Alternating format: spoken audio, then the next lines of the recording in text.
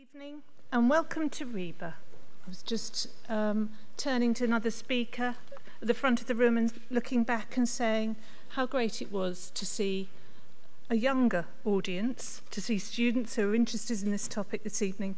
So thank you very much, all of you, for joining us. I'm Helen Castle, Publishing Director at RIBA, and I oversee the publishing department, which includes the RIBA Journal, book publishing, the bookshop, the job board and sponsorship.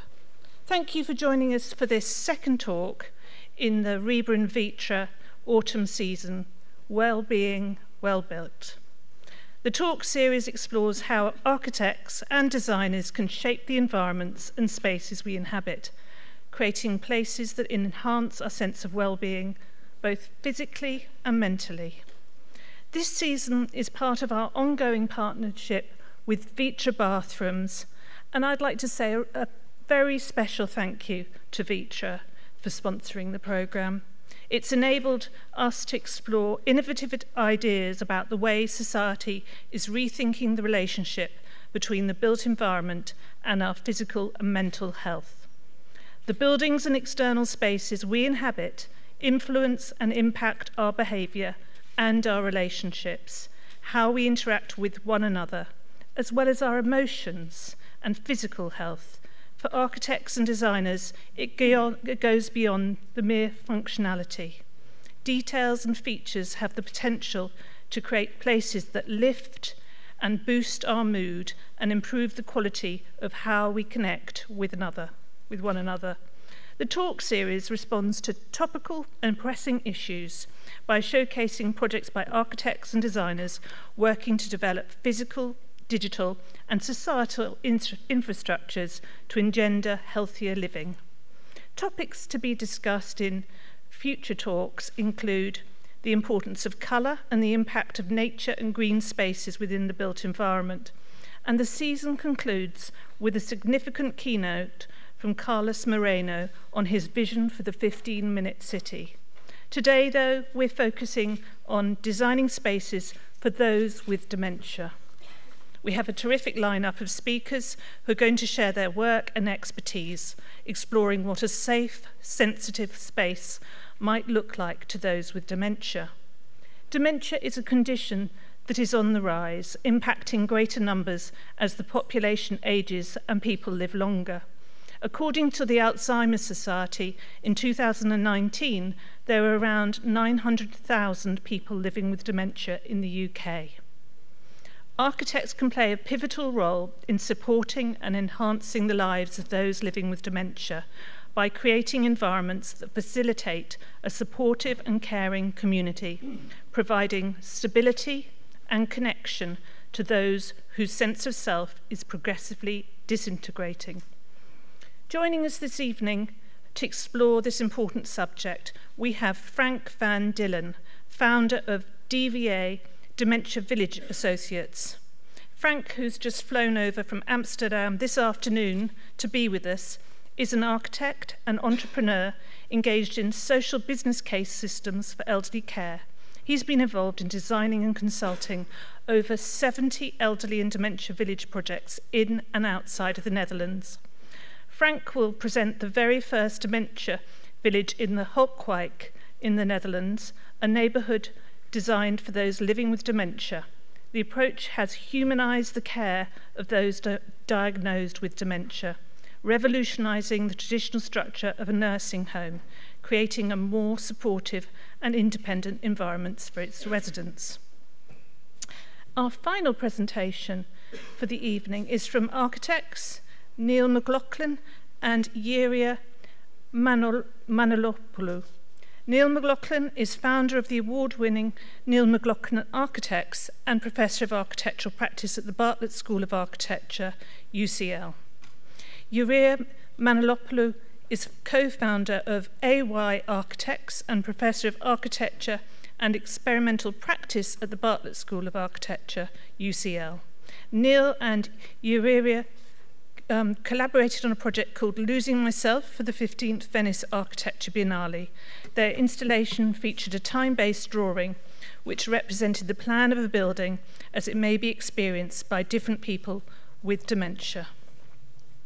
After these presentations, our speakers will be joined in conversation by Clare Cameron, um, who is an architect and director within the later living team at PRP. She has an in-depth knowledge of nursing care, dementia care, assisted living and extra care sheltered housing, having designed and led an extensive portfolio of award-winning projects in the field of older people, housing and care. Now, I'm very happy to pass you over to Clare. Clare Cameron is going to be the chair of the panel at the end, but first she's going to just introduce herself and PRP, and after that uh, we're going to have our first presentation from Frank van Dillen. Good evening, everyone. Um, it's my absolute pleasure to share a room with so many people that have an interest in dementia, um, like we do, uh, myself and the speakers here. We're here to talk about inclusive environments and discuss what safe, sensitive spaces look like for those with dementia. As Helen has said, I'm an architect and a director in our later living team at PRP. Our passion is all about designing beautiful buildings, buildings which are homely as well as being enabling. The emphasis is on homely, as opposed to just being institutional and purely functional, which, if I'm honest, some of our clients might lead us towards if, we, if we're not engaged and careful. Our aim is for all older people to be able to retain a sense of purpose and enjoy meaningful lives in the buildings that we design. In Design for Dementia, we believe that residents should be provided with spaces and opportunities to safely carry on doing the things that are important to them in their lifestyle. The emphasis is on personal lifestyle, whether that be carrying on working, looking after children, gardening, cooking, enjoying music, whatever it is that means they can maintain the lifestyle that they are used to. The benefits of this is maintaining a sense of purpose and therefore benefits in health and well-being. Frank, I've met your wonderful ex-colleagues, Eloy and Yanette, when designing a new care home recently. Uh, and we shared a lot of values, and, but they certainly challenged us, our brief, our clients, and our design concept. So I know that you're going to bring some enlightening uh, information to the room today. Níall and Yeoryia, I'm sure everyone in the room is itching to see what your slightly scary looking quad pod is all about. Um, so I'm looking forward to hearing that. And after our presentations, I look forward to a nice discussion. Thank you. I'll hand over to you, Frank. Well, thank you all for this opportunity, and especially RIBA and Vitra. Um, my name is Frank, Frank van Dillen. I'm a, I'm a professional architect but I sold my architectural firm about two years ago. Um, my architectural firm was always a little bit peculiar because we ask every client of us why, why, why? Why are you doing it like this? Um, and the last two, three years, I'm a dedicated consultant for DVA, uh, DVA Dementia Village Associates, uh, together with partners. Um, and I also have experience in Holland uh, with my own firm where I am so a social developer of new housing concept for the elderly. Um, as told, I have 25 years of experience of over 70 uh, elderly care homes. Um, but not all that special like the Hogeweyk. I will tell, of course, a little bit more about that.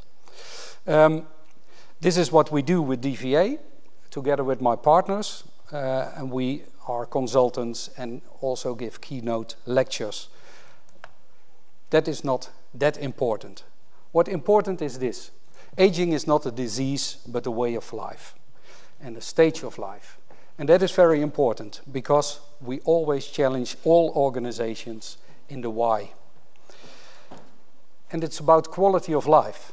And DVA, Dementia Village, is a little bit also not the quite uh, the, the name which is um, um, how can I say that that we we like to say the whole world is like a dementia village and it's because of all of us here in this as an audience but also I, myself my son for instance have all special needs and it's about quality of life. Dementia, dementia is not upfront, like my arthrosis, arthritis is not upfront. Like my deaf son, his deafness, deafness is not upfront, but the quality of life is upfront. And that, as designers, we have to challenge that kind of questions. Uh, so, living, working, recreation, and social inclusion is paramount in this. Um, a partner of mine, Freek Lapre, um, we are both uh, members of the European Aging Network and ECREAS, and that's a, a knowledge center of, uh, of the European Aging Network. Um, he was the main author of this report, a report on long-term care. Um, and that is very important. It's, it's right, it, it is um, spread all around Europe, and it is um, yeah, it's, it's also very, for very importance of England and the UK. Um, and the report conclusions are those. Governments are in denial. And we already knew for 30, 40 years that a very grey audience is coming to our, uh, towards us. But governments are still in denial. Um, business sometimes is failing of course not Vitra, but other businesses are failing to addressing the needs of all the, uh, the elderly people. Um, and the aged care sector itself uh, relaxes, uh, lay back and say, okay, the government will solve this, but they won't. And we, as society, overall faces the threats of social cohesion. And that is very, uh, very important. And that is also what we as architects can do. Let me give you a brief, a very, very, very brief uh, history on dementia care developments. Uh, two, three hundred years ago, it was taking care informal, private and monasteries, for instance. Um, and there was, I guess, 30, 40 years ago, there was an awareness, a demand for cost efficiency, logistics and scaling up. And that is where we lost our, not clients, not patients, but our residents with uh, dementia. It, the outcome is an economic solution. And with the Hogeweyk, about 20 years ago, we had awareness number two. There is a demand for adaptive and small-scale nursing homes and very big paradigm shifts. So the outcome has to be an holistic and social inclusion. And that is what we are all aiming for. And we need paradigm shifts from care to prevention and inclusion. From institute to redefine home. You can read it all. Only professional to family and co-creation. Very important. Medical focus, no, a social approach. One size fits all to lifestyle orientated. System dominance, care organizations to client focus and staff density to, smart, uh, to staff and smart technology. And I didn't tell you of uh, th this is not um, this questions all architects here in the audience should challenge and should ask the organizations and should ask yourself um, and what can we do this is the traditional nursing home it's a medical model, medical approach, no attention of no connection to the outside world and to the real world, for instance. Wards with 15 to 20 patients, we still call them patients in this kind of facilities. No innovative, built environment and do what you always did. So organizational convenience and no personal center care, one size fits all. With the Hogeweyk, I'll come up to that later, uh, we did already a next step. And remember, it was a vision on uh, small scale housing, lifestyle orientated about, uh, we started the design in 2002, but it was already 10 years before that that they experimented with that kind of ideas and that kind of vision. So the Hogeweyk, which is still very important outside the Netherlands, I can't tell it uh, uh, on. Uh, I can't tell it any, any other other way. Other way. Um, but it is already a concept and a vision of about 25, 30 years old. Uh, but it's very important as the next level of nursing homes and uh, dementia care. It's small scale living, uh, lifestyle orientated, supporting the elderly on site, and semi open social hubs. Come up to that later. But it is still 24 hours nursing and care. Um, and diagnosis and treatment in the residential care center and the possibility at home to give them at home. Um, we all know what the progression of cognitive disorders by stages of dementia is, more or less. Stage one is how we are sitting here. Not me, not myself. I have Alzheimer light, of course. Everybody has some uh, some problems, but stage one is the common uh, the common outside world.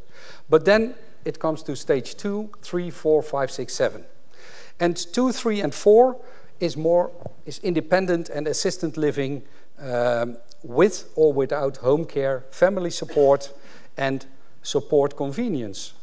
But in between four and five, it gets confused, not only for the residents, but also for the uh, designers and the architects.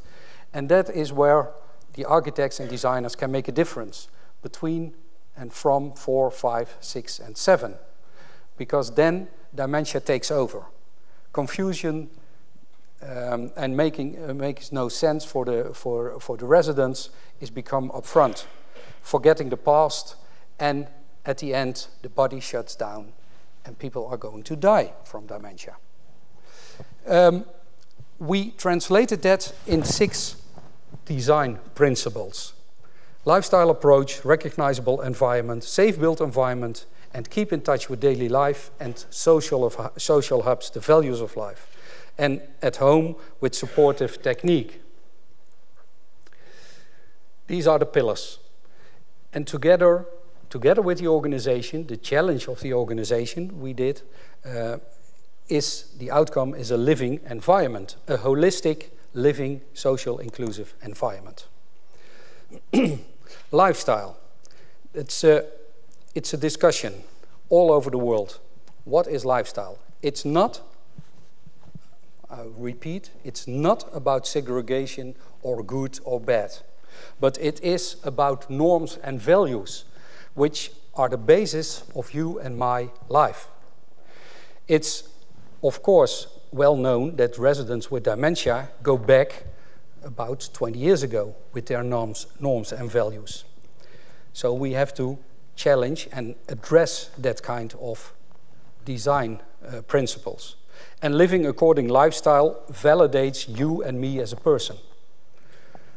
We are here, have, have the same interest. The same interest is coming over here. But when we go home, we have different friends.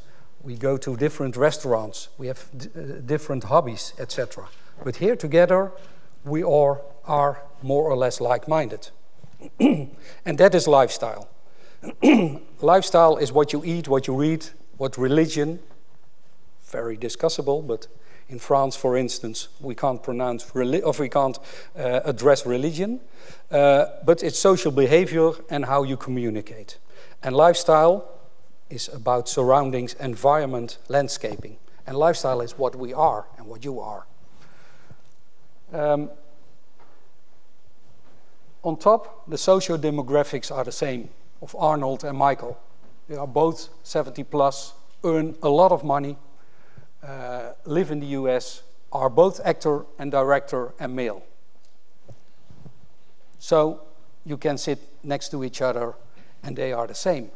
But the norms and values, and it's not, again, it's not about good or bad or segregation, but the norms and values are different as the norms and values of our of here our audience is different is different so this is um, the principle of lifestyle.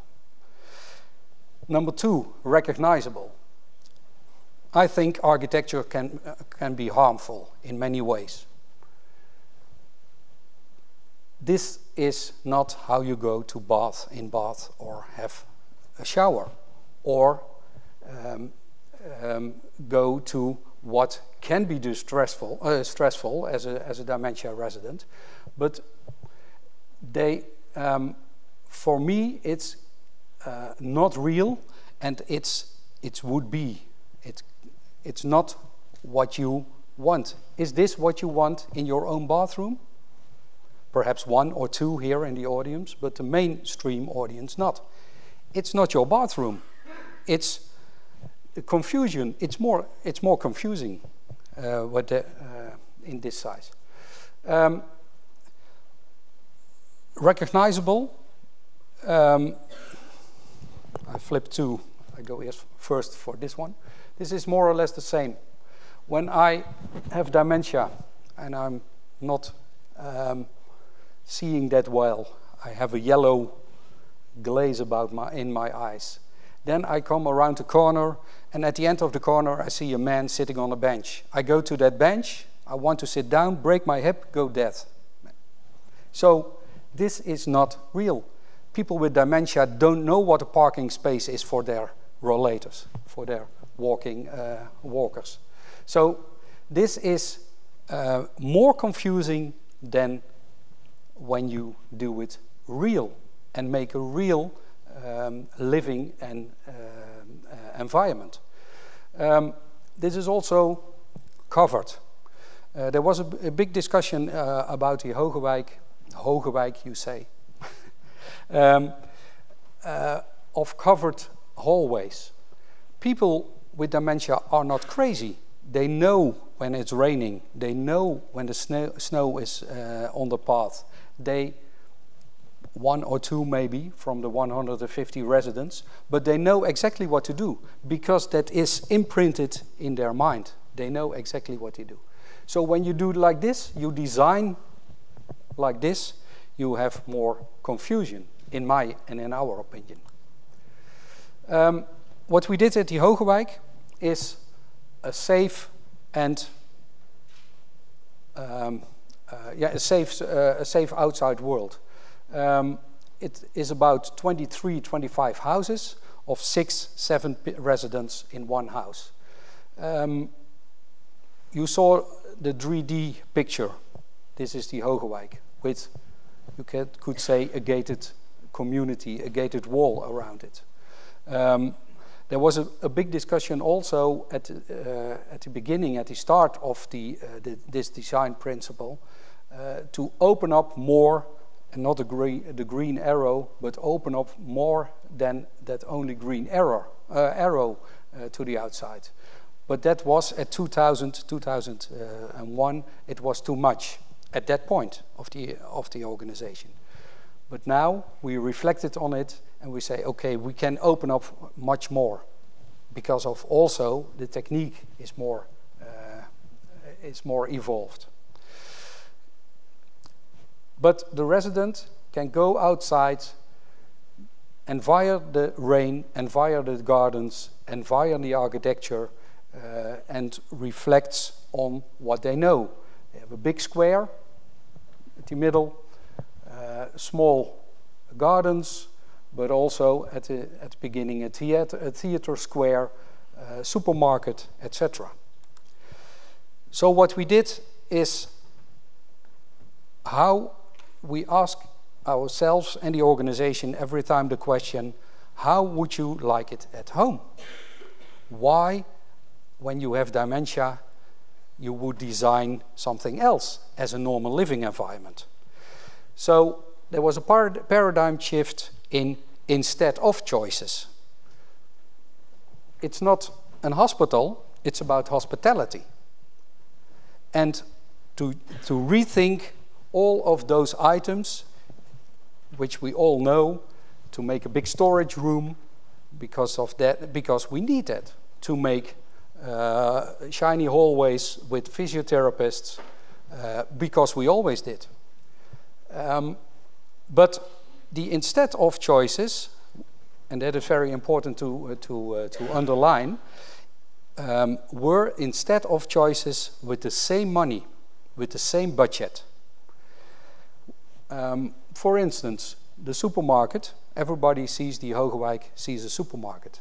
But we designed the storage room and the logistic system as a supermarket. And the outcome was the residents go to the supermarket, they recognize the supermarket, they had a freedom of choice of doing the groceries and doing their, their shopping. Uh, there were two, unfortunately, but in favor of the residents, there were two uh, personnel less on the logistic system because of the residents, they took their groceries back to home. The logistic system was minimized. And it was with the same budget, the same money, um, we changed uh, two, uh, uh, two um, full-time equivalents and we, um, we designed that in square meters. Also, the physiotherapist, for instance, on the lower right. When you design an outside environment where people are challenged to go outside and where people uh, are challenged to, to wander around, you don't have to have a dedicated physiotherapist room. What you need is one or two physiotherapists who, co who come to their house and help the caregivers to support people in standing up from their chair and going outside.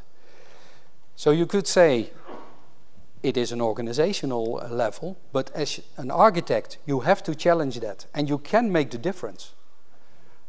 So take no, um, uh, no, no, no for that answer and say we can do it on the other way. Life pleasures, social hubs. Um, what we also see is that are, there are multifunctional rooms. But people with dementia, when they go to a multifunctional room and they listen to music, they have a beer, or they are painting, or uh, do, do some, uh, some small uh, uh, uh pastry uh, baking. Um, when that is a multifunctional room, then it's confusing. When you do small social hubs where you have dedicated uh, activities, um, it is more uh, um, less stressful for the people with dementia. So that is a restaurant and a bar designed as a restaurant and a bar. Also open for the outside, the, the outside environment for people who live nearby. But also it is very interesting and very good for sons, daughters and family members I like to come over and sit with my father and have a beer instead of in smelly hallways um, have a drink which I don't know if that kind of environment is the right environment. Um, small scale housing, favorable surrounding.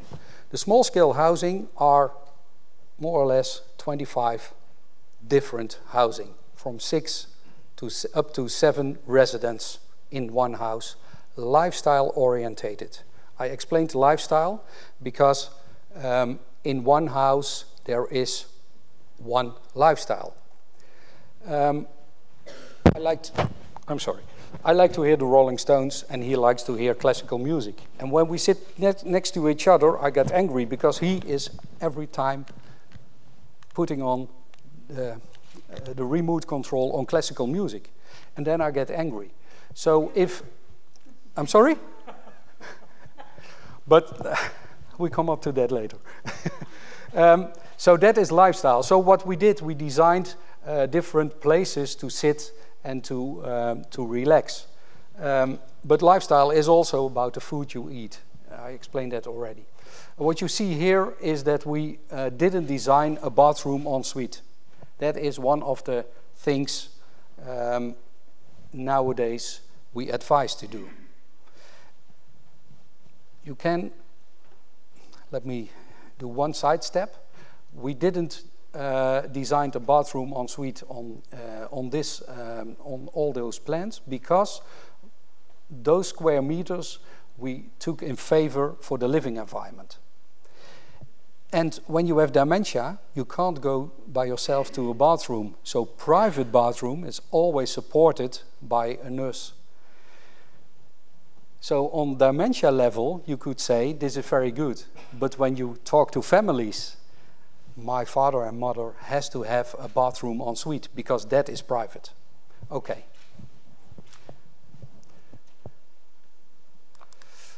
Um, and it's evidence-based. It's common sense, but it's also evidence-based. It's a high satisfaction on residents and family. Um, let me show you some pictures. This is the entrance.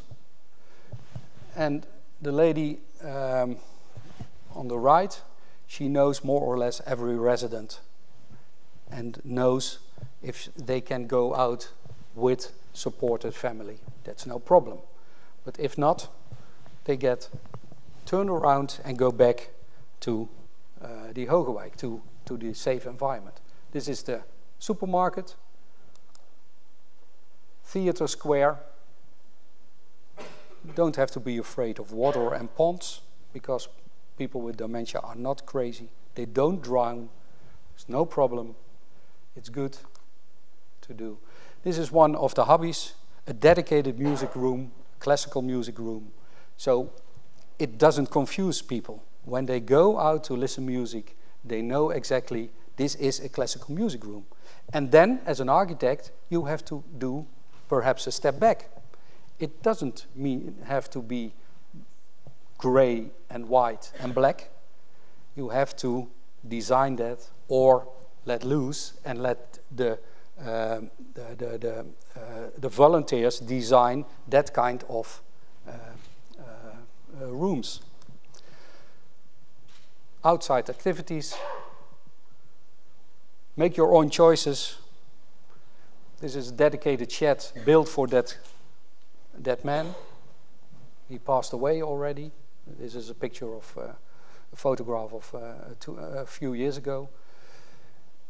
And you could uh, say, as an architect, it's not very architectural, but it is how people live.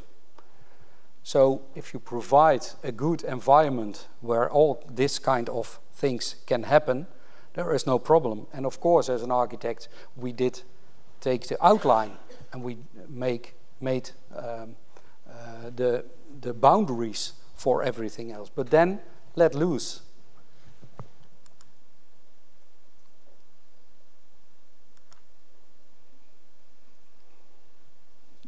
And they go with a bike, not only in the safe Hogeweyk community, but also outside. So the results are already mentioned high satisfaction among residents and family, positive effects on the residents, on the employees, and positive effects in care, and decrease in aggression by an increase of fresh air, exercise, daylight, freedom, etc.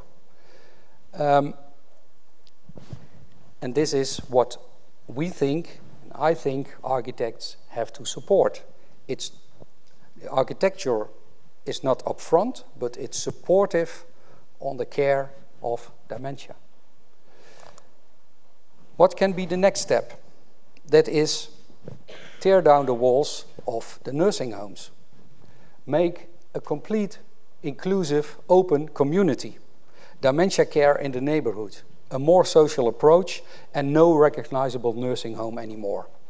Perhaps high care small dedicated uh, uh, small dedicated centers.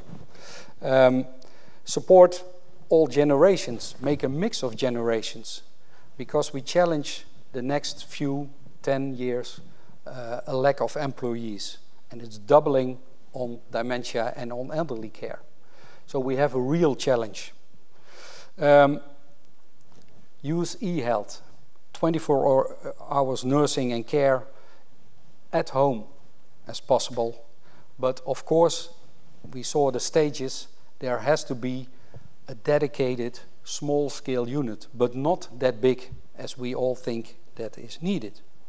And social hubs, more open and uh, for, for everybody. This is already more open. It's more or less a, an, an Hogeweyk model, but um, it's um, it's all um, it's all surrounded with normal houses, social housing for uh, also the elderly, and it's that are the white spots uh, on the left. This is in Holland, in Heerenveen, in the north of Holland. We did that with my uh, former uh, firm, architectural firm, Bureau Kade. And this is in Berlin. And this is also a nursing home. And the nursing home, do I have a pointer? Yes, I have a pointer. This is all normal housing in the, in the suburbs of Berlin. And here we designed a nursing home on this spot on, uh, with an open air uh, swimming pool. We translated to the German environment and the German legislation, and that is why we have to had to make one building. But we did it with connections with green roofs and, uh, and terraces, etc. So it looks like different housing, but about, uh, because of the legislations, we have to make one continuum of building.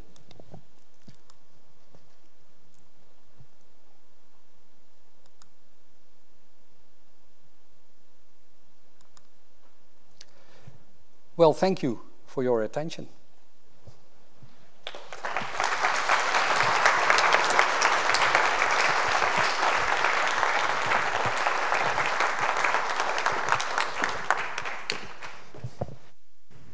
I'm Níall McLaughlin, and this is Yeoryia Manolopoulou. Um, we taught together for 20 years, and we did a collaboration for a project called Losing Myself for the Venice Biennale in 2016. I want to just continue on from um, Frank's uh, speech to say that um, the problem about designing and managing environments for people with dementia is not to take care of their safety, it's to allow them to live and die a spiritually meaningful way. And um, that's what we should focus on when we're thinking about it. Um, I watched a television program about Jack Charlton, the famous footballer and football coach. He won the World Cup with England in 66 and in 92, I think he got Ireland as a manager to the quarterfinals of the World Cup. It's a terrific documentary. He has dementia now. Um, they spoke to people about his whole career, but one person they spoke to was Paul McGrath, who was a troubled child playing for Manchester United. Um, he was in real trouble with the team. He was picked for Ireland by Jack Charlton. And Jack somehow found something in him, got something out of him, and turned him into a star who scored a goal in the quarterfinal for Ireland. And uh, Paul McGrath said, I don't know what I would have done if it wasn't for Jack. In the documentary at the end, in this still, they say to Jack, Do you remember winning the World Cup with England? No. Do you remember getting to the quarterfinals with Ireland? No. And then they said, Do you remember Paul McGrath? He said, He was some what I love about that is that the bit of him that was given over to caring was still able to hold on to that thing. The bit of him that was mentor was still able to hold on to that thing. We were asked in 1999 to design a daycare and respite centre for the Alzheimer's Society of Ireland. This is Helen Rochford Brennan, who, will, who Yeoryia will speak about later, who's a great advocate for people with dementia. She has early onset dementia, um, and uh, she's part of the Alzheimer's Society of Ireland. They gave me the most amazing brief for an architect. They said, We know nothing about architecture, and you know nothing about dementia. So we'll teach you about dementia, and you teach us about architecture. And we did that for 10 years together as we built the building. And it was an absolutely wonderful working relationship. And what was great about the um, job was that they asked us to come in and spend as much time as we could in the center. And when you went in there, you had a group of volunteers. It was a secular organization working with some retired religious nuns uh, who, who, ran the center in an old primary school. And they um, believed that the whole community of people in the building um, were part of the uh, uh, uh were, were, were, were part of the project and they did something that I found really fascinating. I, I, would go in and just spend time with people, chatting to them and getting a feeling for the world that they were inhabiting. But they tell a curious and very interesting white lie, which is that if you come in with um, an, a diagnosis of dementia or you have concern about dementia and you want some counseling, one of the things they say to you is, would you like to come in here and volunteer for a while and get a feel for what it's like, for what this world is like, and to give you some sense of um, a better understanding of the situation? So people would come in and volunteer. But the curious thing is, as their dementia developed, everybody continued to believe that they were volunteers. So when you went into the center, you didn't have a relationship between people who were passively being cared for and people who were actively caring, but you had a sense of a community of people who were all taking care of each other. And the shift in dynamic I thought was really extraordinary. One of the things about dementia, these are diagrams from Tom Kitwood's book, and he talks about the sort of um, kind of desperation of the progress of dementia. I'm going to show you two diagrams. Both of them end in death at the center. And you can see here the movement from normal life at the top left, that incident, getting lost, a further decline, the diagnosis, problems with continence, the failure of daycare, the incident with the nurses, the admission to residential care, and the spiral goes through to malnutrition, vegetation, and death.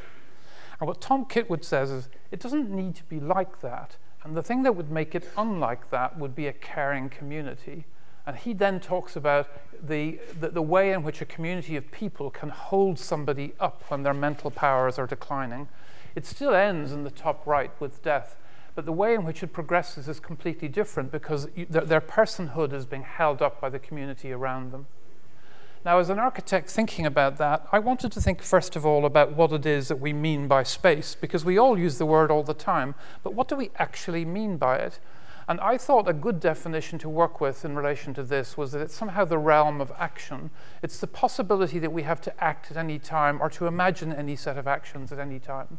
And what I want to do is just take you through a collection of Paul Klee's drawings and talk about how we develop and change our sense of space over time. It might be the case that a child, when they're newborn, doesn't actually know that it's not their mother. Um, they may believe that they're the same body, but the space opens up between the mother and the child, and that's a space of negotiation. It's a space of tenderness, but also permissions, desires, and taboos. So space is never a neutral thing.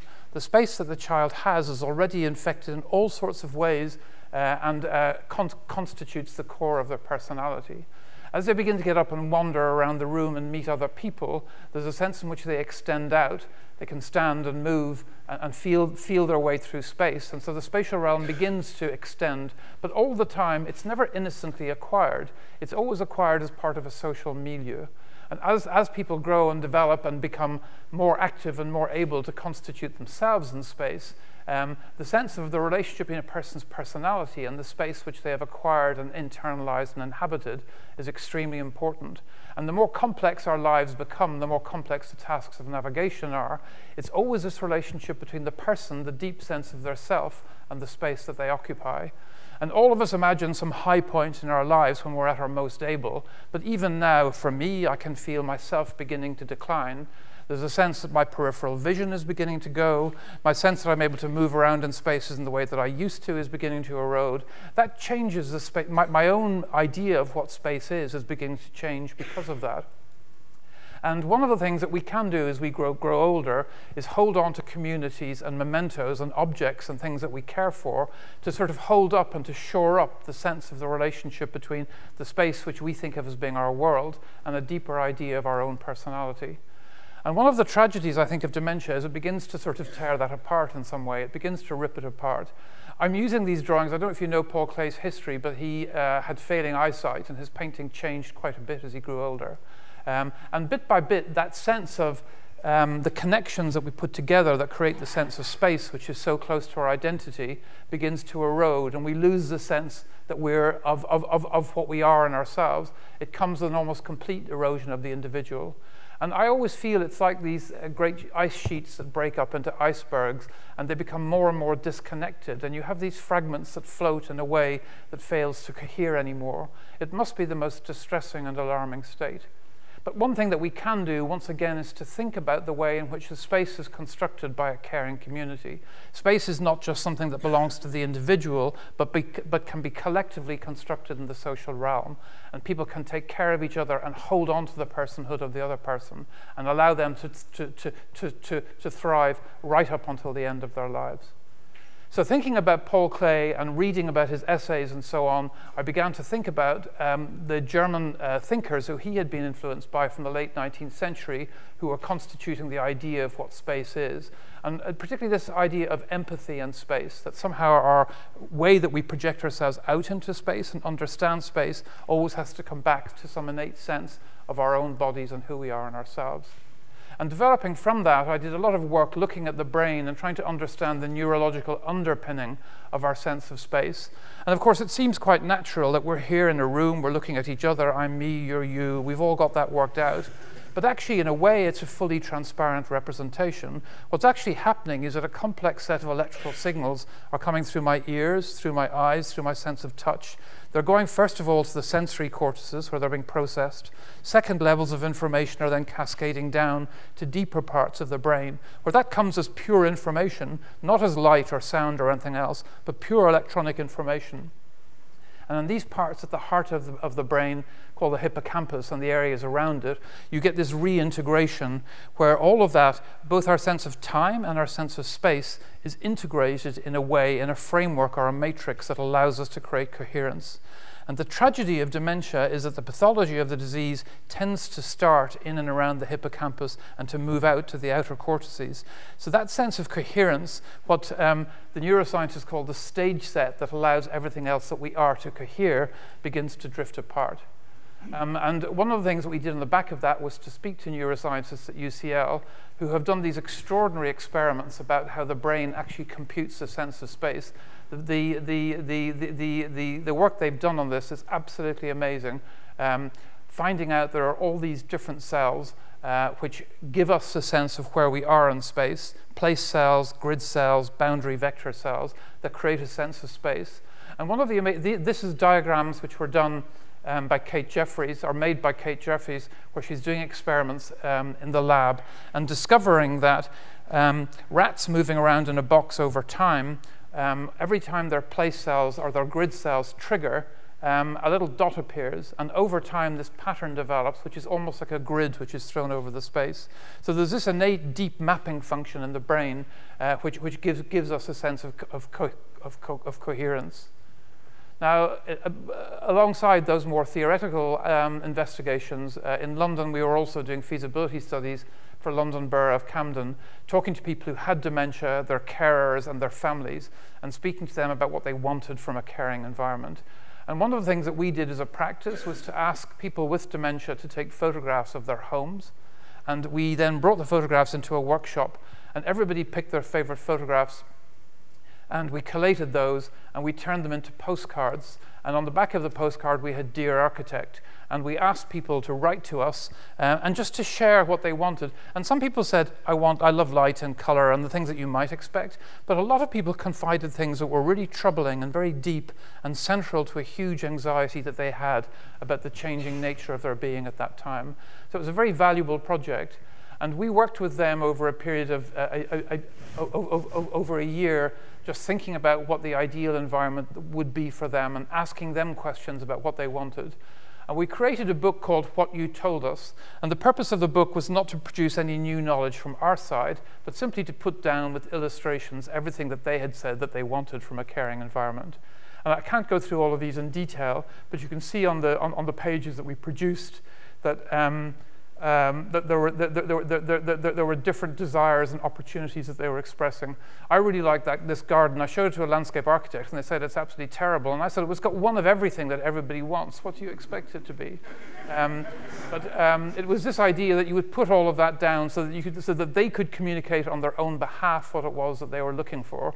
And we were, in a sense, just the, just the voice or the pen, pencil that was drawing that and putting it down in a way that they could agree to it and then communicate it on to other people. But when we came back to Dublin to try and design the, the care centre for dementia, the thing that I wanted to do was to say, well, how do I take all of this abstract knowledge and lay it open to architecture? What does an architect do to mint that or to give it currency as architecture? And I had to try and think, given what I've found out about this condition, what buildings do I know that would allow me to feel located and situated in time and space, given that my sense of the world is fragmenting. And I just went back to my own experiences of walking through Louis Barragan's house in Mexico City and going out a room out, leaving a room out one door and coming back 20 minutes later and find I'm in the same room again. This sense of wandering and what I've started to call a continuous present tense, that you can wander and each room looks onto a different garden and then looking at the plan of that and trying to understand it, and then thinking about the Schindler house, which has got the same quality in plan, where as you wander around the house, you're looking into different garden spaces, but you always wander back to the place that you started, having seen all of these different gardens on the way. And then this is a sense that you have in, in, in the Schindler House in, in, in, in Los Angeles of looking out into those garden spaces. And finally, the most beautiful plan of Mies van der Rohe's brick country house. And it's got that same quality that you could walk around from room to room and find yourself discovering new spaces and new views, but you would always bring yourself back to the still center, which I thought was a beautiful opportunity for a plan. So these are the photographs that we took of the building that were finished. I want to talk about that in a minute, but this is the plan of the building, and you can see maybe the DNA of lots of those other plans in it.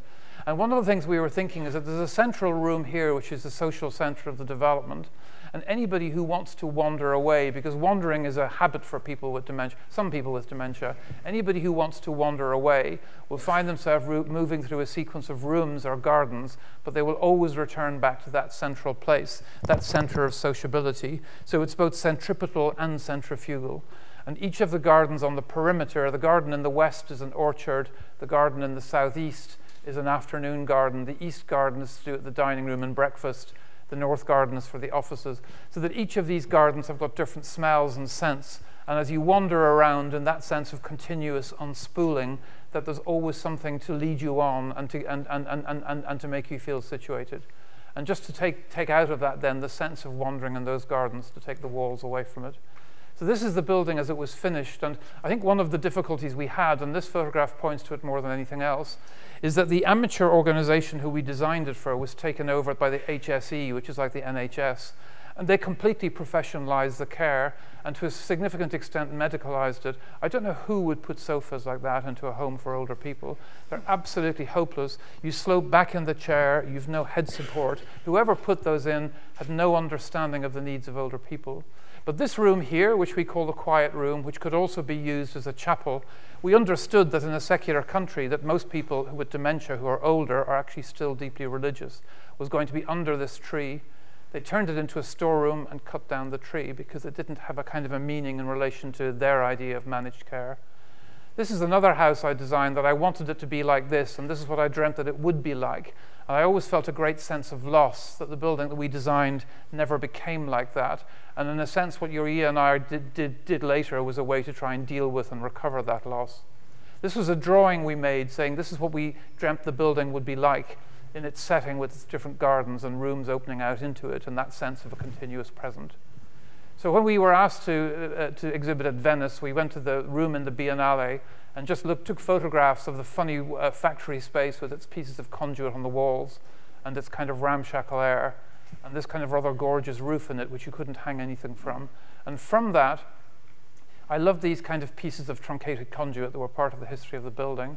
And from that, we decided that we would make a series of drawings that were about taking all of those things and using them to project a drawing on the floor. So this is the idea of the drawing on the floor. Uh, and that drawing on the floor would somehow explain or talk about all of the ideas that we were trying to bring together around the subject of dementia. Losing myself was centered on collaboration. It would have not been possible without learning from others, without constant dialogue, and without drawing together between the two of us, but also with others. As architects, we simply do not know enough about dementia. So for us, engaging in dialogue was a necessity, not simply a choice. We traveled up and down in Ireland and the UK to meet experts in the field. Dialogue allows us to include in our perspectives as architects the perspectives of others. We had conversations with families who have loved ones living with dementia, with healthcare managers, with health policy experts, and dementia design experts, with neuroscientists and anthropologists. Helen Rochford Brennan, who Níall referred to earlier, was diagnosed with younger onset Alzheimer's at 61. And this is an extract of what she said to us. So I was struggling for a number of years with memory issues, and I wasn't quite sure what was happening to me. And every time I told somebody that I thought I had a problem with my memory, told me I was doing too much because I was also at that stage uh, when I was diagnosed, I was chair of a state board, Western Development Commission. But I found myself at meetings and I lose the word, I lose the sentence, and it's there, but I just can't reach it, you know. And so I found that extraordinarily difficult, and I found it as difficult for the people that were watching me because the words just wouldn't come. Over time, I just knew there's something, you know, every day at work. I had the in tray, and I, it seemed to be always there. Couldn't move my in tray to get it off my desk. I used to go to work in the morning and think, you know, if they were so simple, why can't I deal with them? I went to doctors, and one said yes, and one said no, as, as happens. And uh, eventually, I was diagnosed. I resigned four years ago. I knew myself I could no longer do my job. So after losing my job, then you lose everything you know, because your job goes. Then I had to step down from the share board, then I had to step down from the chamber, then I had to step down from loads of committees that I sat on, and then you have nothing. You have four walls. I was under 65. Helen's despair uh, was lightened only when a nurse suggested to her to become involved in dementia research and in campaigning. And when we met her, she was vice chair of the European Working Group of People with Dementia, and also chair of the uh, corresponding uh, Irish group. We are very lucky to have met and have multiple conversations with the neuropsychologist Sebastian Crutch at UCL, who introduced us to the work of William Utermohlen. Utermohlen was an American artist who received a diagnosis of Alzheimer's, like Helen, also at the age of 61. As his dementia worsened, Utermohlen did not stop painting. The self-portraits that he did during this period are in themselves exceptional art pieces, but they also offer a glimpse to us into the artist's experience of his progression of Alzheimer's. Here the artist paints himself looking at his mirror image on the left, while the painting has also distorted perspectival angles. In this painting, he removes again from others, showing himself alone with his cat on the sofa. He paints an attic above his head that did not actually exist in his house, and he surrounds himself with objects and events around him that have happened at different times, all these scenes colliding into the same frame. As the artist's Alzheimer's disease was progressing, his spatial and visual skills were declining. The self portrait that we see here captures a sense of holding tight onto the furniture in an effort to find stability, perhaps, and he is alone.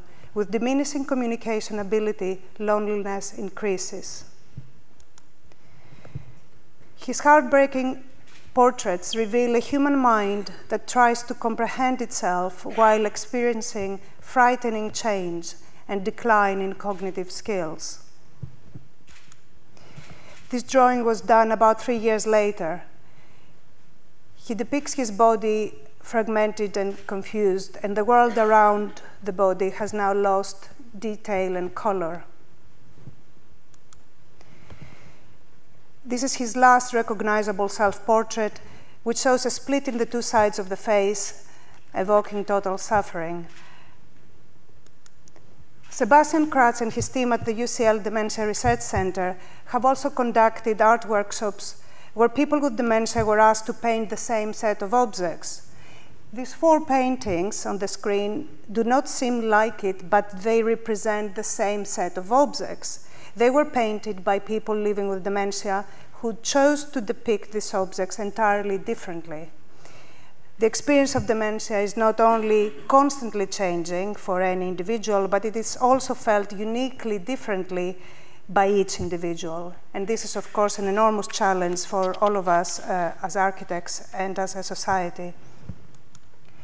The tragedy of dementia is that the brain is hidden. We cannot see how the brain works. How does the human mind create an understanding of space? So we spoke with the anthropologist Tim Ingold, who argued that the human mind constructs stories to interlink memory with space and time. So we know where we are and remember where we are because we can tell a story about the place we find ourselves in. And to a certain extent, Ingold questioned the neuroscientist's approach. Kate Jeffery, um, who Níall referred to earlier, showed us this image of grid cells forming a hexagonal geometry in the brain and told us that essentially these grid cells create internal maps in our brains. But for Ingold, memory is an action. It is, it is something that we do. It is not an image that we passively retrieve from the brain. These different and at, at, times contradictory perspectives are podcasts on the Losing Myself website. Our graphic designers, Objective, uh, came with us to UCL, to the UCL Dementia Center workshop to test the design of the website with patients who have posterior cortical atrophy, a form of dementia. And these signs that you see on the left had to be adjusted so that, for example, no, no sign used on the website could have the same directionality, as this would be confusing for people. Complex web navigation with multiple steps was also questioned, and so our website has an everything page where each item can be accessed by one click. So the website contains the podcast, short ordinary stories, anecdotes about people living with dementia, as well as a diary of our full research and drawing process.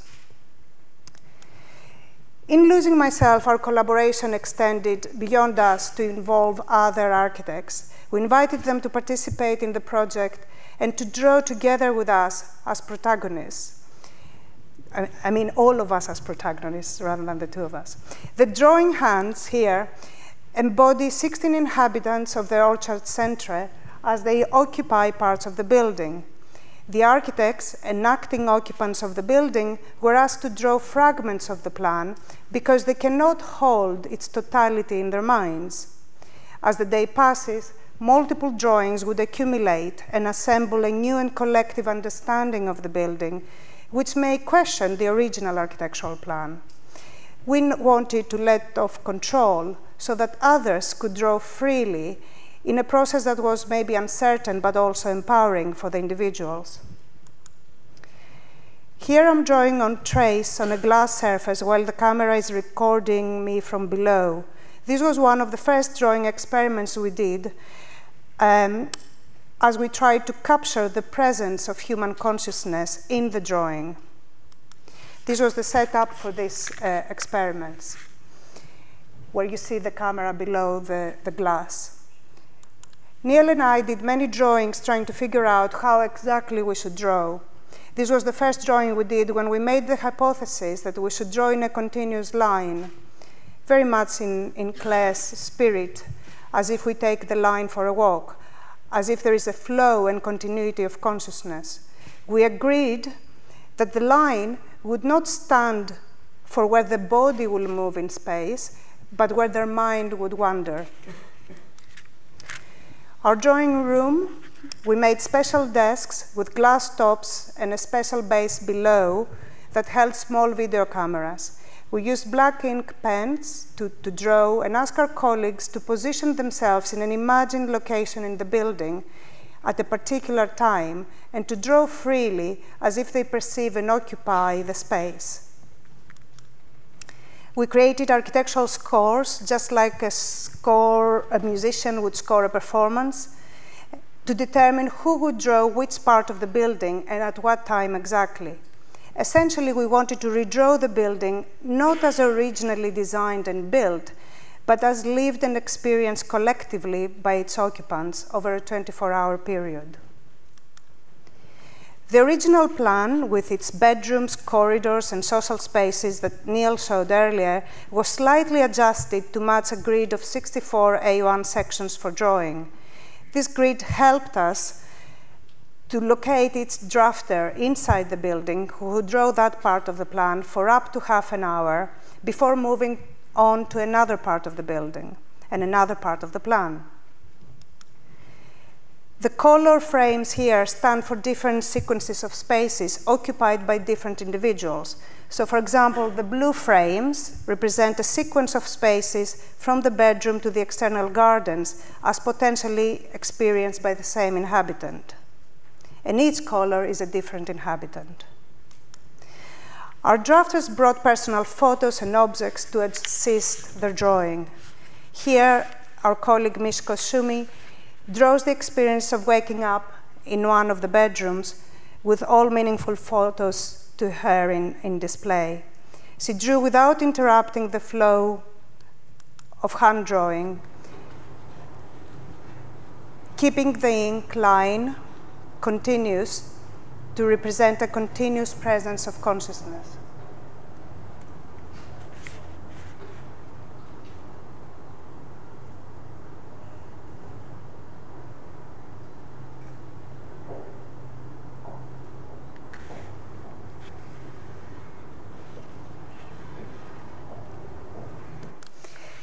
On the left, you see a still of the recording, and on the right, the same drawing as scanned after completion. And here you see another drawing by Mishko showing the use of the bathrooms. An exciting aspect of this process was our social drawings, when we wanted to represent common areas of the Orchard Center, the breakfast room, for instance, occupied by many people, we thought that we should draw correspondingly as many um, architects. So drawing was a shared event, and all of us enacted the process of eating and of drawing simultaneously in an interactive way. We were interested in drawing as an activity rather than as an outcome. The finished drawing here. To draw the music room, we danced and listened to typical Irish tunes uh, that would be likely to be played in the building. And we recorded the sound of drawing itself as we show here, because we wanted the final installation to contain aspects of the sonic reality of drawing. We drew the gardens. Lee Halligan here joined us to draw trees. And gradually we started overlapping the finished drawings physically as well as digitally. Here you see overlapping drawings done by different authors.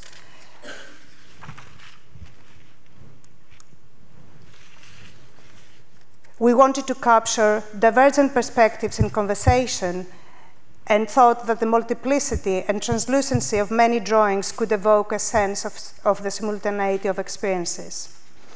So each of the 64 sections of the building plan had to be drawn multiple times and by more than one drafters to represent different times and different occupants experiencing the building. The results was many hundreds of, of drawings. We determined spatial and temporal relationships between the individual recordings so that we could meaningfully assemble a new animated plan of the building.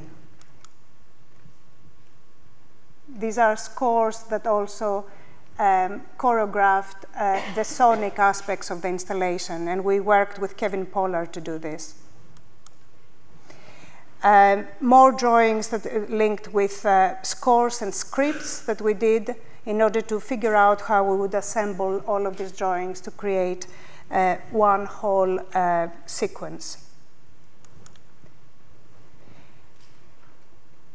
This drawing embodies the start of the day when inhabitants start to wake up, and the blank areas of the plan suggest areas of the building that are yet out of experience, out of consciousness. And this drawing assemblage presents a busy time at midday where all parts of the buildings have been occupied. Extended as a projection, this would reach about four, to four by five, four by six meters. The white edges between the drawings perhaps uh, create a kind of a ghost image of the original plan of the building. We also added uh, hexagonal grid cells that related to the information we got from the neuroscientists that indicate the brain activity when a room was occupied. And we also worked on evening sequences. So the slide shows here the gardens, while the grid cells on the edges indicate occupied interior rooms. And another fragment of an evening drawing. I will finish with this still of the totality of the drawing as assembled to represent midnight Characters in the drawing are represented as full subjects, pursuing independently their ideas and speaking in ways other than the architect's original voice. And this plan now is no longer absorbed by a dominating monologue. It is not fixed or totalizing. It is a co collaboration of many minds and many hands. I'm just going to finish off quickly by showing those are the dreaded quad pods that Clare spoke about. We couldn't uh, put anything from the roof. Uh, this is the, the, the, setup we did up in Middlesbrough to set the thing up. But now I'm just going to take you through the installation itself. This was the test for it, uh, working through that.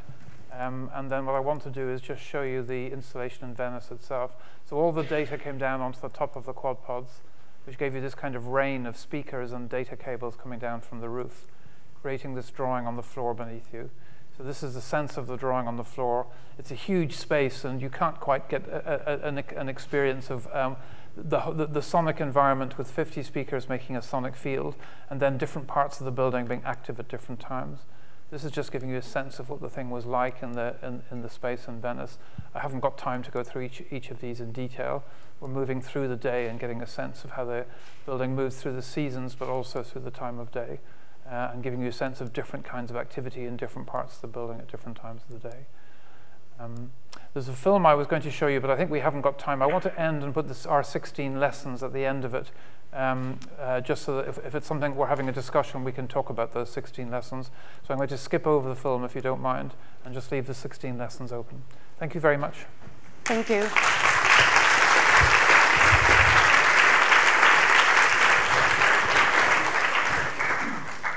Thank you both. Um, three. We are monumentally over time, and um, it didn't matter because I didn't think anybody wanted wanted to stop you in mid-flow and wanted to get to the end of your presentations. Um, interesting to see the different kind of reflections and, and ways of thinking about design for dementia. Um, I want to ensure we've got a little bit of time for, for questions from the floor, and I had lots of questions myself, but um, we'll just do a couple of them. Um, without meaning to uh, sort of simplify what you're, what you're all saying too much, um, but conscious there are lots of designers in the room, perhaps you haven't uh, designed for dementia before.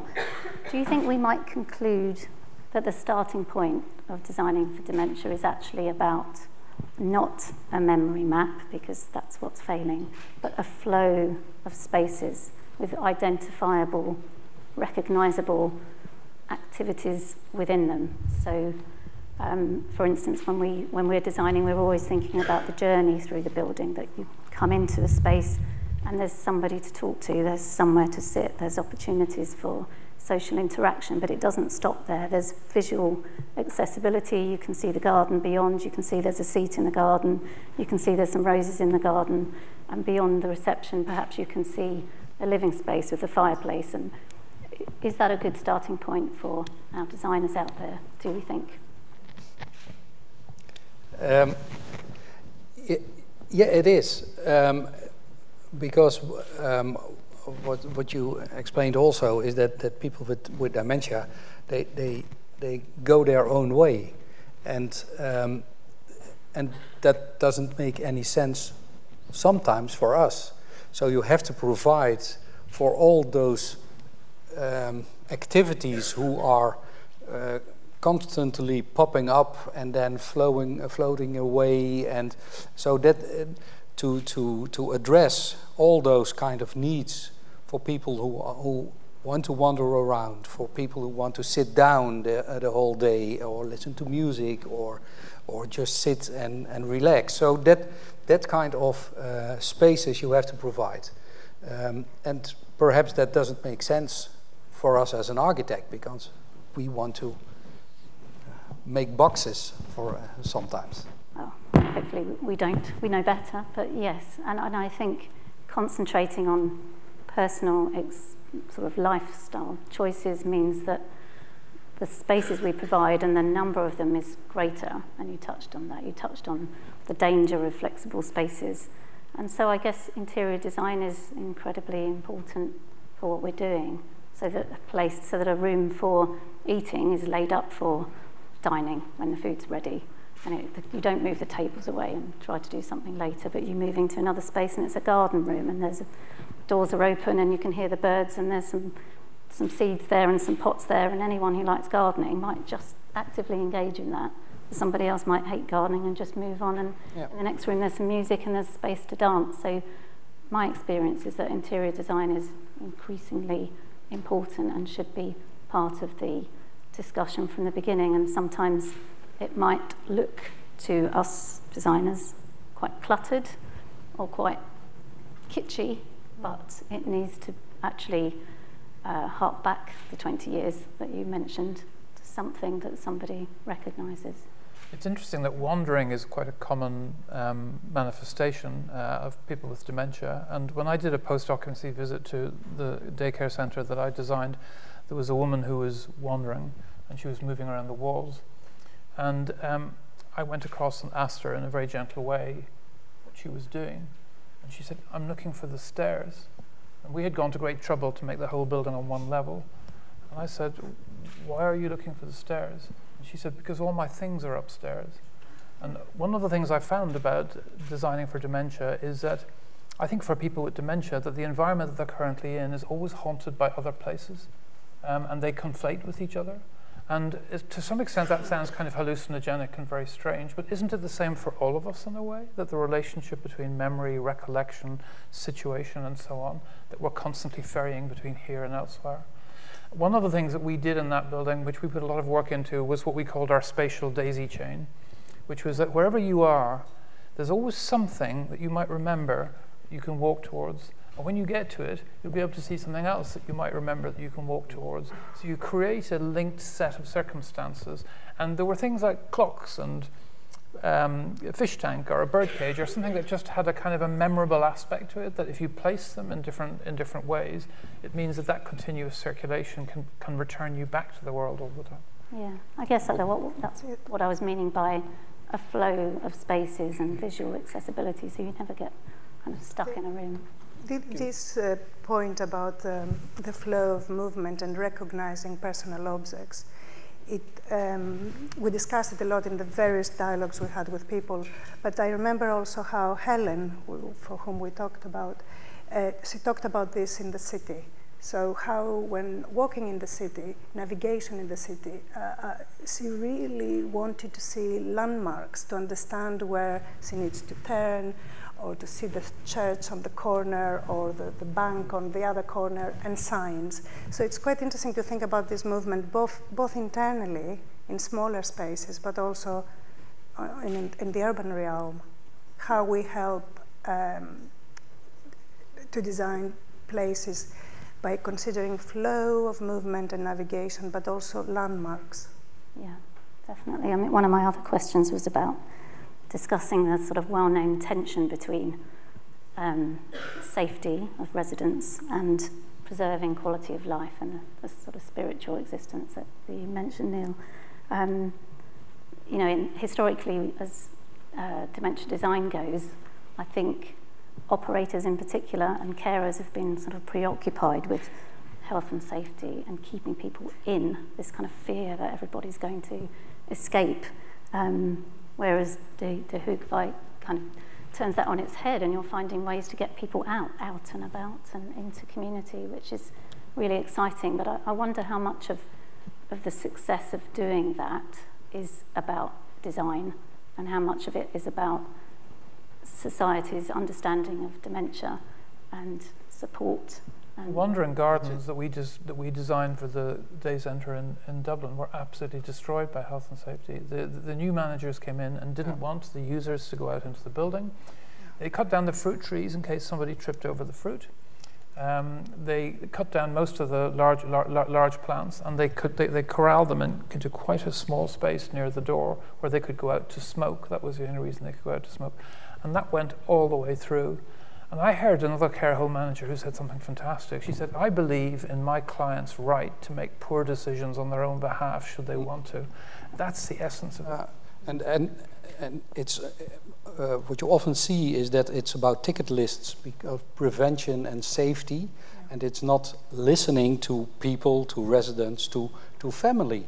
Because if we discuss for my father to say, okay, when he trips and falls down, and he lives perhaps two months less, is that a problem? But is, he has a meaningful life, so that's no problem for me. So you have to discuss and educate and, and um, uh, with, also with residents and tell what, um, and discuss together what you want for your relatives.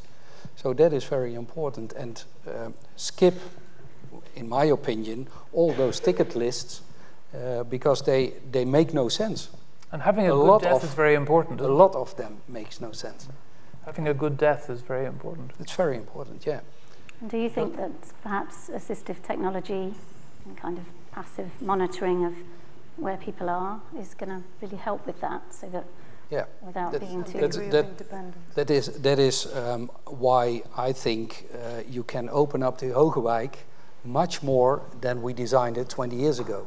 Yes. Because it's evolving, and that's what I told you. Uh, with uh, with technology, you can help people also wandering around in cities or or, uh, or city-like environments outside their living environment. Yes, definitely. I hate the term wandering, by the way. I think people are actively walking because they're trying to find something rather than feeling lost. It is um, also about educate, educating uh, the outside world, citizens, uh, so yes. to say. Yes, um, definitely.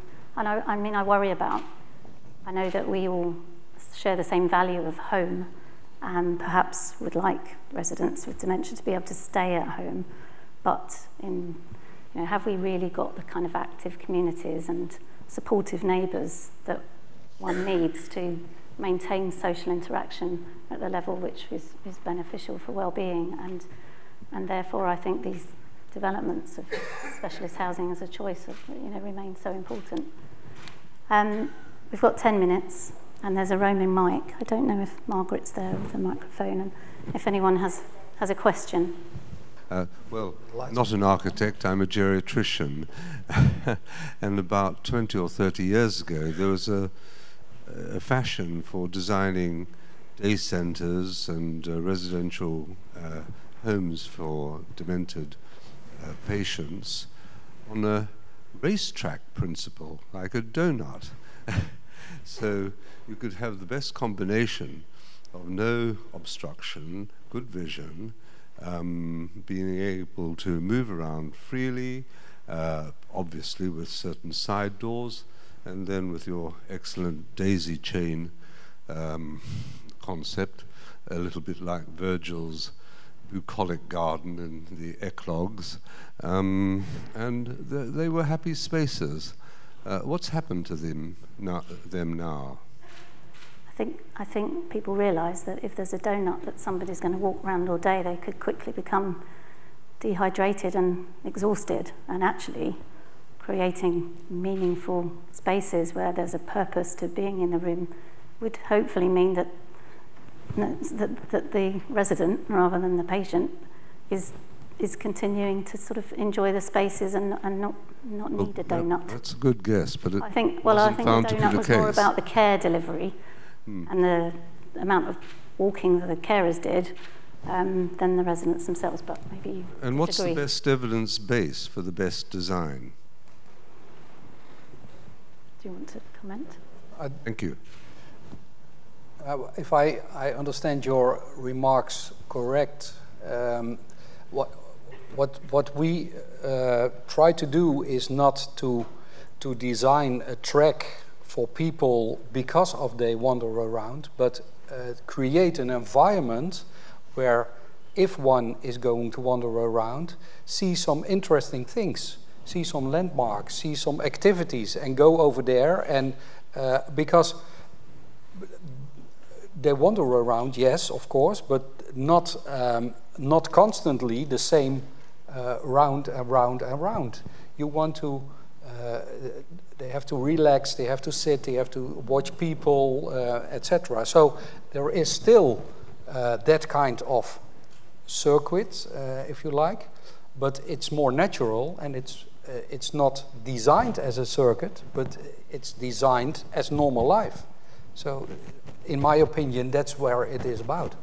And, and most designs have a, have lots of lovely circuits, but they they come indoors and then they go outside and they might be under little covered walkways and um, come back in again. But um, just before we take another question, I suppose the other thing about doing a big loop around a racetrack type plan, and you know I've seen many of them, is that you can't then break the community down into the lovely family-sized clusters uh, like the Hogeweyk, which is in clusters of six, you, you would have that family member walking through other people's little clusters, which I think could be quite uh, disruptive and confusing for the people that are kind of trying to live in, in a little family-sized group. I think it's important listening to these conversations that for the audience here, I think there's a difference between the kind of designs that you do for end of life care, for residential care, for day care, and for respite care. Yep. And they, it's not just that they're different to each other, but they interact differently yep. to each other. One of the problems that we had is it's actually quite difficult to do respite care and day care together because the people who are staying and the people who are going get distressed. So there are a lot of nuances around this. There isn't one right answer or one wrong answer. It's, it's about a continuum and to provide all those stages uh, where, uh, and, and sometimes they over, overlap these stages. And um, so it's, it's not a dedicated house uh, for, for stage two, three, and four, uh, or five, six, and seven. Um, that is not the outside world uh, where we live in, uh, neither. So it's, you have to provide all those options. And that is very interesting. It's not one size fits all, it is a, it's a continuum. Okay, I'm being told we're over time. Can we, Margaret, we can take maybe one more question? Thank you. Uh, my approach to my, the, the, the, kind of the architecture that I'm involved in um, uh, is, is predicated on allowing people to move. I design railway stations particularly. Um, and listening and hearing the things that you've been um, working on for the last 10, 20 years is quite interesting because we're trying to do that now for buildings which will be built and operating in 15 years' time. And I was just wondering, what if you just had one thing to say about how you would, uh, what you would want to see in a transport piece of transport infrastructure from the from the lessons that you've learned doing the build your resi- the particularly residential buildings, what would it be? Um, transport. yeah. The question is about transport infrastructure. Yes, that's what I, well, that's, yeah. I mean, that's what I designed. I, I wouldn't, I, I, I, I wouldn't, uh, yeah, I wouldn't have an answer to that uh, uh, outside of coming back to the point of um, um, educating um, citizens and, and everybody who works um, with, for example, public infrastructure, uh, uh, uh, so that um, rather than thinking that this is the job only of the planners or of the architects, to start thinking that this is a much more collaborative, a much more collaborative effort is required. And uh, part of that effort is not only related to specialist designers, but also to informing communities and citizens and everybody who works, for example, with public um, uh, public transport or, or um, anything else in the city. Just that is a point. Yeah, I would agree. I mean, obviously, there's lots you can do around amazing signage and clear visibility, and um, you know, different different ways of understanding where to be with voice uh, announcements. And you know, you can you can work with Stirling University and other organisations to, to help with that. But I would agree with your year. But I think there's a bigger question in that, which is one of the curious things about designing specialized environments for people with dementia is that you always have this feeling in the back of your mind that it's a very curious thing to take a group of people with dementia and corral them all into the same building it, there's something almost coercive about that as, a, as, as, as, an idea. What is it that they have in common with each other except that they have dementia, which none of them want to have? And there they all are together arguing about which kind of music they want to listen to or whatever it is. It, it, it, it, it is quite a negative idea. And in some better version of the world, the whole city would be dementia friendly. And my good friend, whose father died during COVID, he had dementia. And he lived in a small town, and when he left his flat, he'd go to the pub for lunch. And the first thing the landlord would do is ring the pub down the road to see if he'd had lunch there already. It's a really simple thing, but they're in communication with each other. But people in airports, people in train stations, bus drivers, uh, people in supermarkets, Um, you know, Helen carries a little badge saying, I have dementia, I'm getting on fine, but sometimes I can be a bit, you know, she, she has a little badge that says that. So if she's confused or lost, that people can pick up on that. And there's a way in which, even in our school education, if we, if we, if we trained each other uh, to actually think of the city as being something which is for all of us, and if architects began to think about, there isn't a specialized environment you design for dementia. If you're an architect, every single environment you design should be for people with dementia. And to think about the basic, the basic credentials. So if you look at all the specialist advice you get for, de for, for design centers with dementia, you can apply them to airports, you can apply them to train stations, and you know, it's, you're, you're designing good environments. Or, or you design uh, for people in wheelchairs, for people with the Down syndrome, for people who, who know their way in the city very good, and people who are very blind with, with all those maps. And so, so you have to design for everybody. It's an inclusive designing society, and that's you. You told uh, you, you just mentioned the whole world is like a dementia village, and that is why we still um, use our name Dementia Village because it's it's it's a statement now because the whole world is like a dementia village or a village with people with some other disabilities. So that there is no difference. So the, that continuum is very interesting. Yeah, we have this difference of um, visible or non-visible um, disability. Helen, for example, gave us this example, arriving at the airport, um, and and, and, she's presented with a wheelchair where she can walk perfectly. She doesn't need a wheelchair. Because of her badge? Yeah, and, his, and she says to the, to, to the guy, oh, my brain is a little bit slow, my feet, my legs are okay, I can walk fast. So there is this mis misconception, yeah. and the, we need so much collaboration with everybody and uh, everybody to be much more informed. Yeah. yeah. Absolutely. Um, I think it's probably time to, to wrap up. Um, it just remains for me to sincerely thank um, our speakers, such amazing presentations, and the RIBA for inviting us, and VitrA for sponsoring.